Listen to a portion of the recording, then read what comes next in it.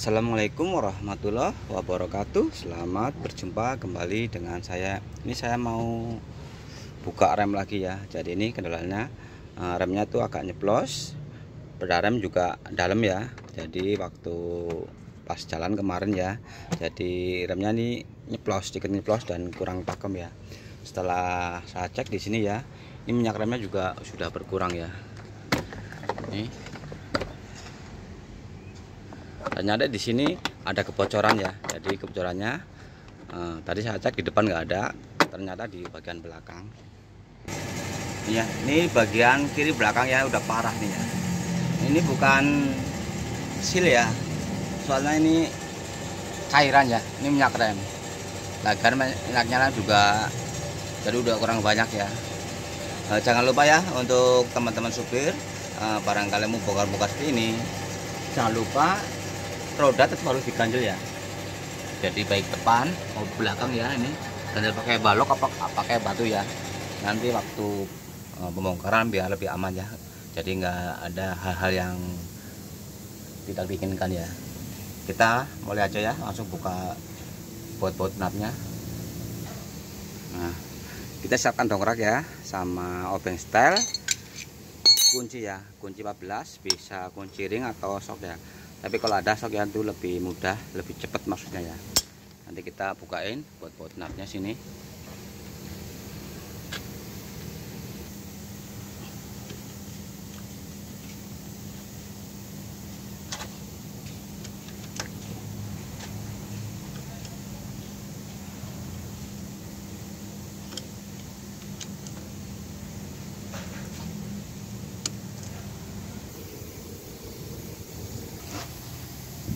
langsung ya di dongkrak aja. Ini bautnya udah terlepas semua ya. Ini ya ini udah saya lepas nih. Ini udah nyampe basah kayak gini ya ini minyak remnya.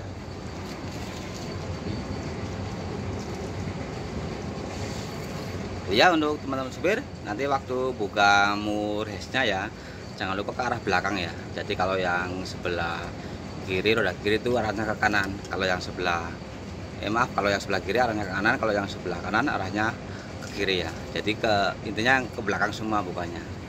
Ini akan saya bukain dulu ya kancing-kancingnya.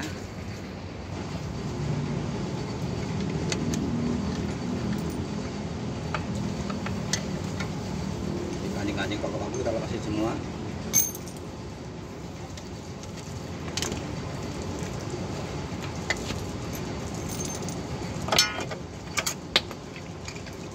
ya ini kita cuci pakai sabun ya. Ini nggak usah pakai solar soalnya ini kan bukan seal ya bukan oli. Jadi ini minyak rem langsung pakai sabun nggak masalah ya. Stand rem kita cabutin aja semuanya. Nanti kita ganti karetnya ya. Ini yang bocor jadi karetnya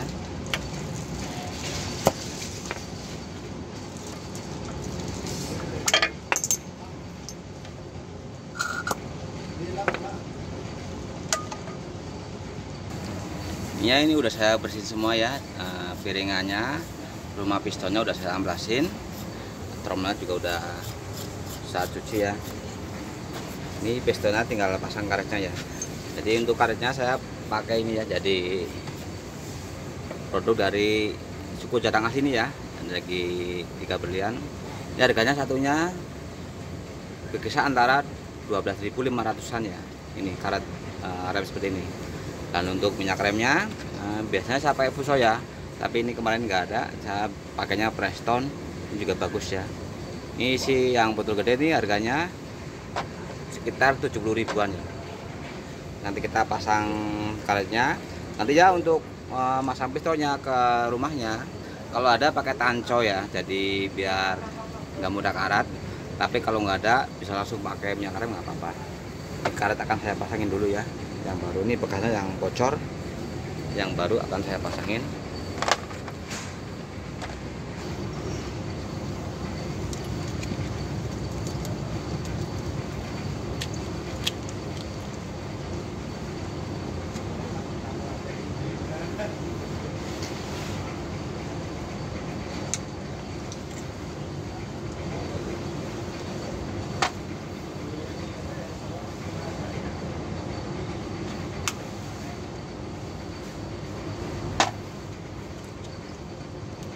tempat-tempatnya dipasang ya.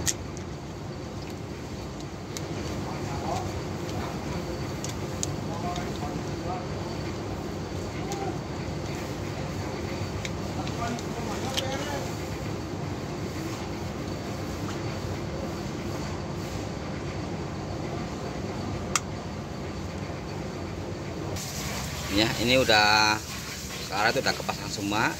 Nanti kita tinggal pasang di rumah pistonnya ya. Jadi saya ulangi lagi ya kalau nggak ada tancot bisa pakai langsung minyak rem nggak masalah ya. Coba aja minyak remnya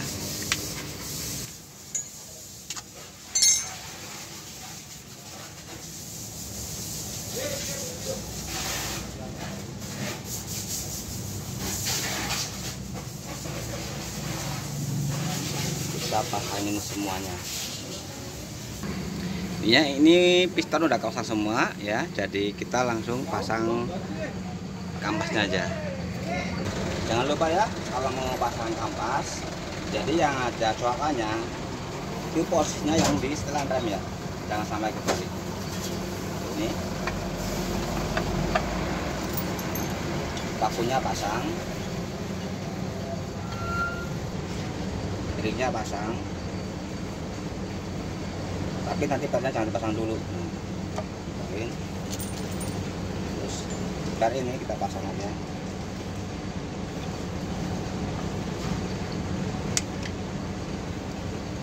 Terus sama ya ini yang ada cokannya bagiannya yang di ada setelannya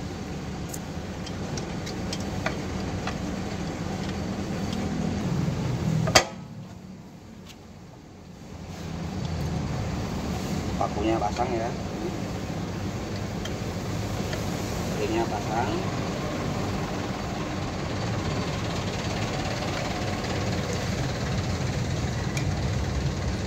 terus tes jadi tekan langsung puter ya. Tekan puter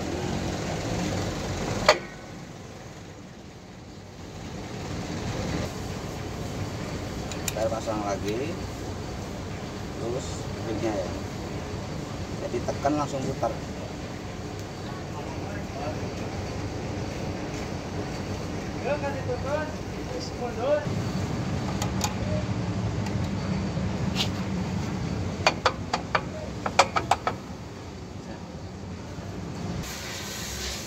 ya ini udah kepasang semua ya. Nanti kita tinggal pasang tromolnya.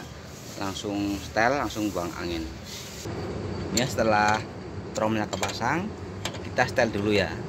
Nanti setelah setel as roda dipasang. Terus buang anginnya ya. Ya ini depan belakang udah saya setel ya. Nanti kita tinggal pasang as rodanya ya. Jadi nanti ya untuk buang angin remnya itu di sini ya ini nepelnya ya. Pakai kunci 10 pakai kunci ring atau pakai kunci shock ya. Jadi jangan kunci eh, pas. Kalau pas kadang-kadang ini kan keras nanti malah loncat ya malah selek. Jadi gunakan kunci ring atau kunci shock nggak apa-apa ya. Kita pasang asrodena dulu. Asroda kita pasang aja ya. Jadi nanti ya waktu buang anginnya itu jangan lupa ya mesinnya harus dihidupin ya. Nah, jadi untuk buang angin rem mesin tetap harus dihidupin. Ini ya udah selesai semua ya. Nanti kita tinggal buang angin ya. Ini akan saya buangin pakai kunci 10 shock ya. Soalnya kunci ringnya lagi dipakai ya. Jadi kita gunakan 10 shock aja jadi nanti ya mesin eh, maaf minyak rem kita penuhin mesin hidupin terus kocok-kocok ya. Jadi pedal lem dikocok agak lama terus tahan ya tekan. Terus nepelnya dibuka.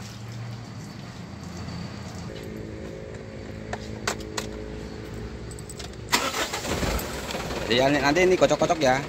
Kocok-kocok terus tekan. Gitu neken nepel dibuka ya. Ini akan saya buka ya dari bawah cok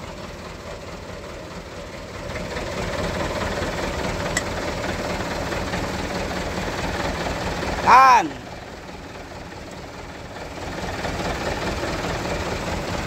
cok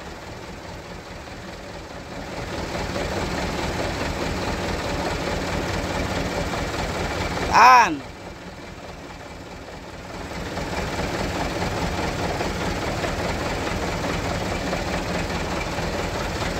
Cok.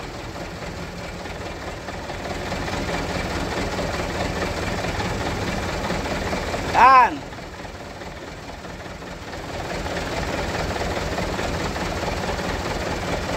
Cok.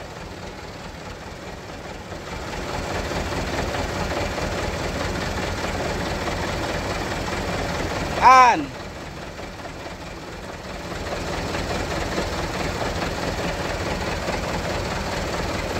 Cok.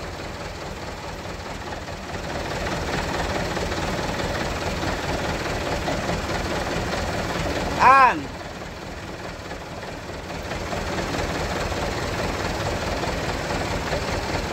Cok.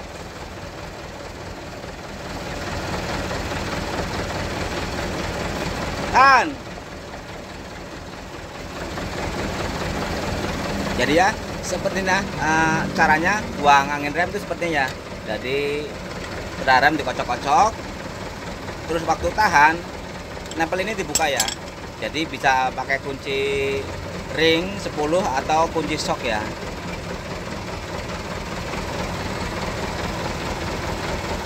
Rem. Rem. Cok. Ini udah cukup ya. Nah, terima kasih. Wassalamualaikum warahmatullahi wabarakatuh.